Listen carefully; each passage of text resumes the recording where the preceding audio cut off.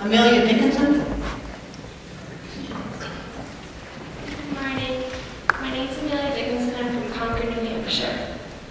My sister's gay. I'm straight. And honestly, she'd make a far better parent than I would. We argue all, all the time how she practically raised me growing up. And I've done all right. I go to private boarding school. I've been offered to go to China to represent the state of New Hampshire's adolescents. But at the same time, when I look back on it, while I may be a lot more naive, not as grown up as my sister, I have more rights than her. She has to fight for things she wants. She has someone who loves her so much, but they can't really show it.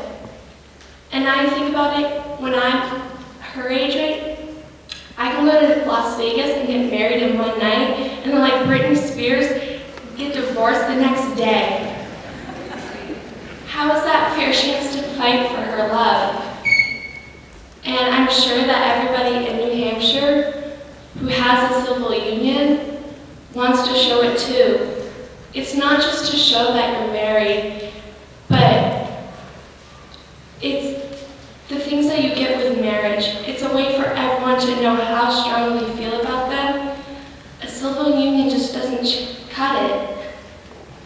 It's like when you just, I don't know how to say it without like crying because she's my sister. I don't know, I just want her to have as much in life as I can. I just don't see how two people from the same mother and father can have such different worlds because of how our society is. So please vote yes so me and my sister can live both happy lives together. Thanks for coming, Amelia. Thanks for listening.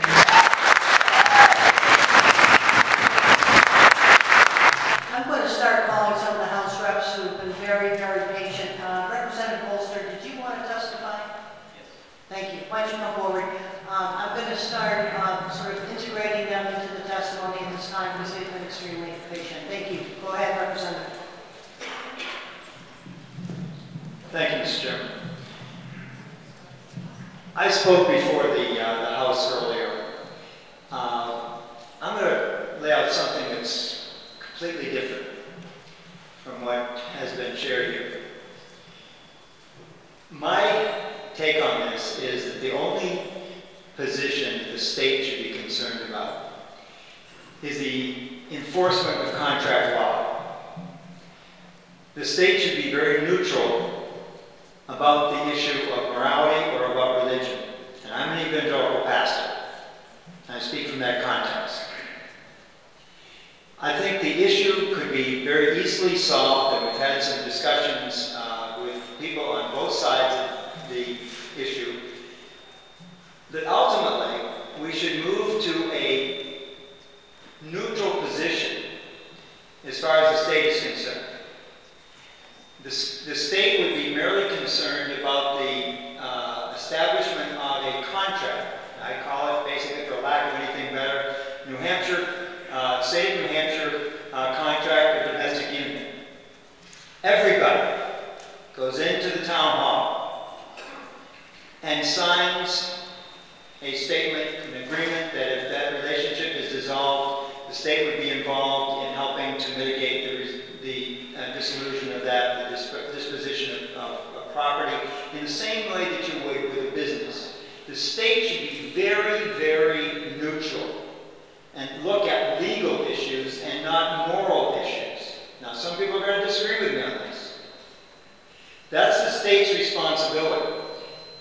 It is not the state's to give. Marriage is not the state's to give. Marriage belongs to the culture and it belongs to the individual. It does not belong to the state.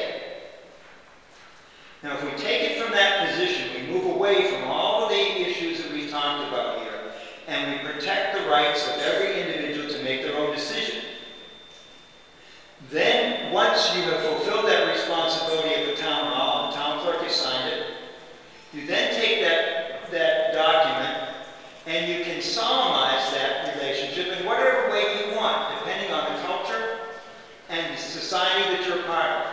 You can call it whatever you want.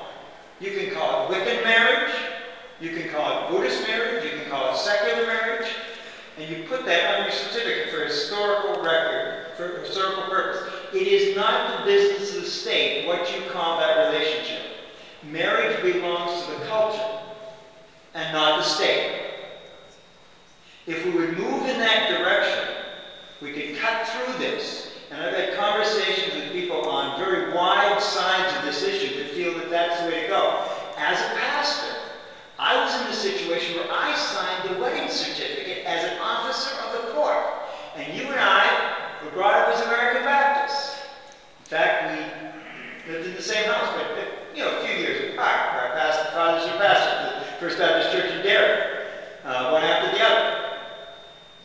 and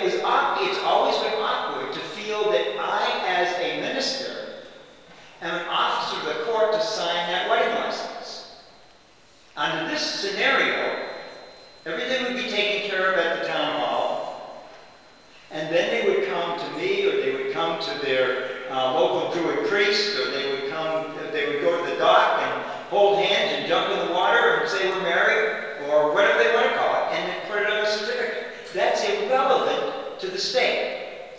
It is irrelevant to the state, even though I would disagree with certain behaviors. It is irrelevant to the state what people, uh, consenting adults do behind closed doors. I'm going to have to ask you to thank you very much. It's a complicated concept, but it's something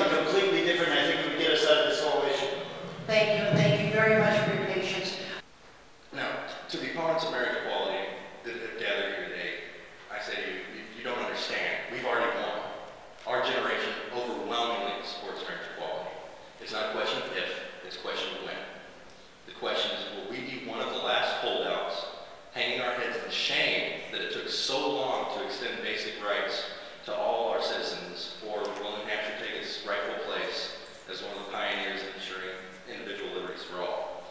I also want to ask you do you want to sit through this hearing every